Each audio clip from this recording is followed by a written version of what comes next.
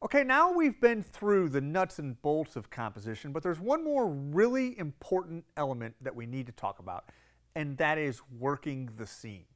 In other words, once you've taken your picture, and this is true in any context, whether it's you're a landscape person or you're shooting portraits or whatever, that you don't just take a few pictures or one picture and move on. That what you need to do is try it from all sorts of different angles and different perspectives and, and things like that. People are really resistant to this for some reason, and I know that if you were someone that shot film, that it would create resistance because every shot there costs money. Uh, every time you, you, took a picture, that was film that was being used, and then of course you had to have that developed. So all that can get expensive. But in the digital realm, we have at this point virtually unlimited pictures. Uh, data is so cheap as to once you have your card, you can reuse it, and there's no reason why we shouldn't be taking just tons of pictures. I'm not talking about machine gunning pictures or anything like that, but I am saying to take lots of pictures from lots of different angles. I don't know why people, and, and i include myself in this, we all do it. It's like we think that somebody's going to look at our hard drive or look at our card and say, yeah, you got that one great shot, but look at all these bad ones you have on your card. It doesn't work like that. Nobody sees them. When you see a picture in a magazine, you know, nobody says, yeah, that's a great picture, but, you know, he's got all these bad ones on his hard drive. It does, it does not like that.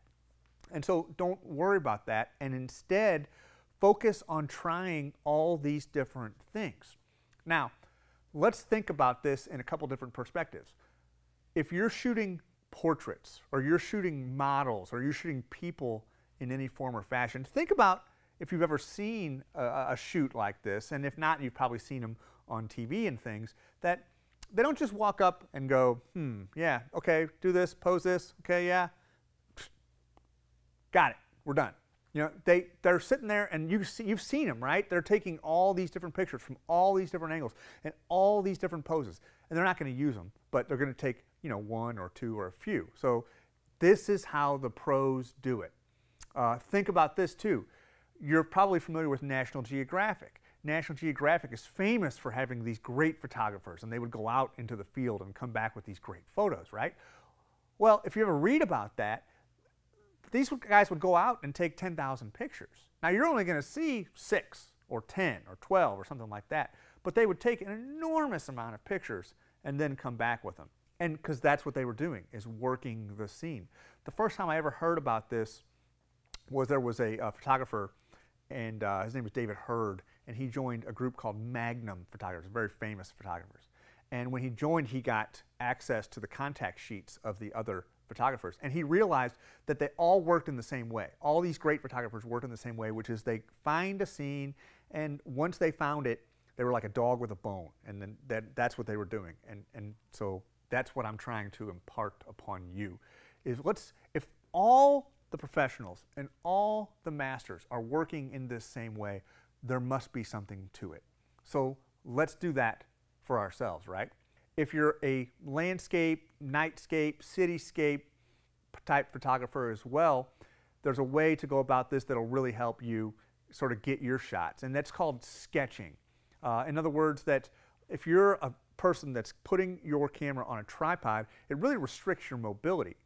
But what you can do is take the camera off the tripod, crank up the ISO to much higher levels than you'd ever use normally, and then just walk around and take pictures and see how you like them. Keep in mind you're going to throw these away. You're never going to use them. But this will allow you to try different compositions, different angles, different perspectives, and then when you have a few that you like, then put the picture, the camera on the tripod and get the final shot. So I just want to impress upon you that once you take a shot or two using all these rules of composition and all these elements we've been talking about, you're not done. Keep trying different things. Now let's get into today's assignment, and I think you're going to really enjoy today's. Today is one I call on assignment. What I want you to do is go to a local landmark. It can be a big monument if you're in a big city. It can be a bridge, it can be a vista, it can be anything, as long as it's sort of the thing that your place is known for. Go there with the idea that you're on assignment from a big magazine or something like that, and they want you to get the best shot of it possible. What you're going to do is go there and use everything you've learned so far in this course and work the scene like you learned in today's lesson. Try it from every conceivable perspective and angle and get a unique shot of it. The point is, when you're done with this, you should have something really cool. Your local Chamber of Commerce should want this picture. It should be that cool. So spend some time and really get a great shot today. Enjoy it and good luck.